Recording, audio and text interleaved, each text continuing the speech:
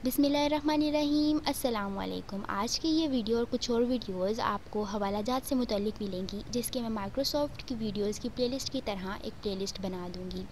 दो बातें मैं आपको बताना चाहती हूँ। एक ये कि डिस्क्रिप्शन ज़रूर चेक कर लिया करें। वहाँ मैंने आप ही के लिए ज़रूरी मालूम रखी होती है। और दूसरा ये कि कॉमेंट्स में पिंड कॉन्वाइवल सेक्शन भी देख लिया करें। आज की इस वीडियो में आपको जिस सूरत की आयत के मुतलिक कुरान या हदीस से रेफरेंसेज या हवाला जात मिलेंगे, अगर आपको इस सूरत की किसी एक आयत का हवाला देखना है है तो नीचे आप कन्वाइवल सेक्शन से उस मखसूस आयत की रेशो को सेलेक्ट करके देख सकते हैं। रेफरेंसेस यानी कि हवाला जात, जिस तरह तलबा उर्दू के अशार की तशरी करते वक्त अंदर उसी के मुतल कोई शेयर डालते हैं। यकीनन वो जहीन और मेहनती तलबा ही होते हैं।